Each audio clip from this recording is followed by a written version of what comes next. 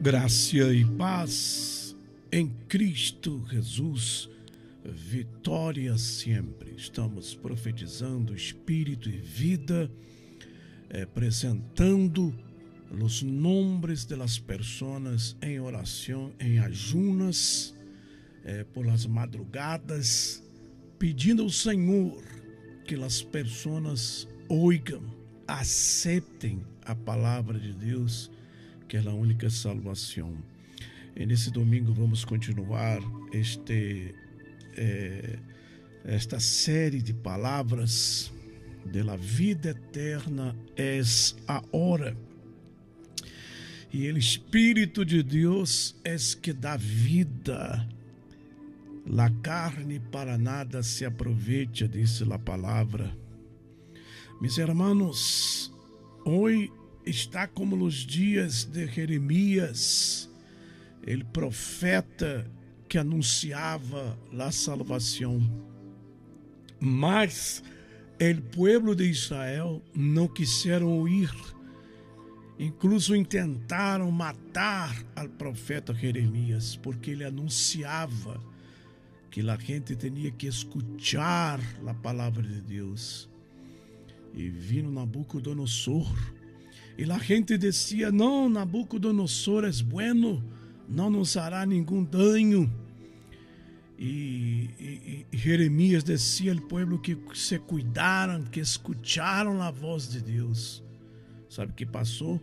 Vindo Nabucodonosor, destruiu Israel, tumbou e queimou o templo do Senhor e levou o povo de Israel como escravos. Imagina-se, a gente hoje também está dizendo que Nabucodonosor não nos hará dano e continuam vivendo escutando a voz de homens, a voz do mundo. As gentes estão despreciando a palavra de Deus para andar em, em pós do pecado, de riquezas, do orgulho de idolatria humana. Cuidado, meu irmão. Sabe o que sucedeu? Jeremias foi preservado por o Senhor e foi enviado a predicar em outros lados. E o povo de Israel caíram nas mãos do inimigo. Tenha muito cuidado a quem você está escutando, a quem você está ouvindo. Esse espírito de vida Deus quer salvar o espírito de seu povo antes que seja tarde demasiado. Prepare a água, prepare os nomes para a oração. Meus irmãos, como crente, nossa necessidade básica é desfrutar e receber de Deus o suministro divino, nossa água viva, nosso alimento. Para ser isso, necessitamos exercitar nosso espírito para estar em contato com Deus. Deus que é espírito e verdade e vida. Ele quer saciar nossa sede. Ele quer dar-nos alimento para que seamos renovados e revividos. Escute a palavra do Senhor. Vamos orar. Esse domingo venha à igreja que vamos continuar predicando sobre isso.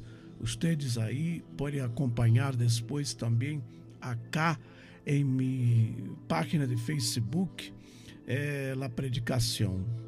O reino de Deus é essa hora, salvação, vida eterna é essa hora.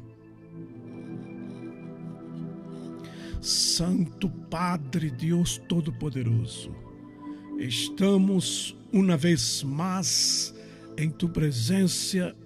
Chegamos ao final desta semana, Senhor, escutando a palavra que o Senhor está dando a tu povo. Oportunidades de aceitar, de ouvir, de entender a palavra do Senhor. Mas como nos, em los dias do profeta Jeremias, assim ha sido en los días de hoy, las gentes han rechazado, han rehusado oír la palabra de Deus.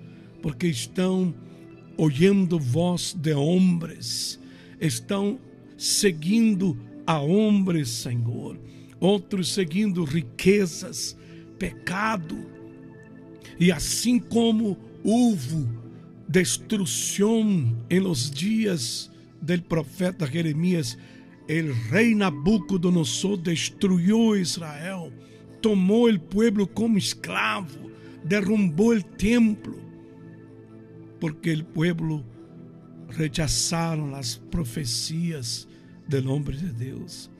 Muitos pastores, muitos profetas de Deus hoje han sido atacados, perseguidos. A gente ha rechazado a palavra, não querem ouvir, porque estão seguindo seus próprios conselhos, seguindo a voz do mundo, idolatrando pessoas, a homens, defendendo a homens, quando deveriam estar defendendo a palavra de Deus. Misericórdia, meu Padre. Compaixão desta geração. Compaixão, meu Padre.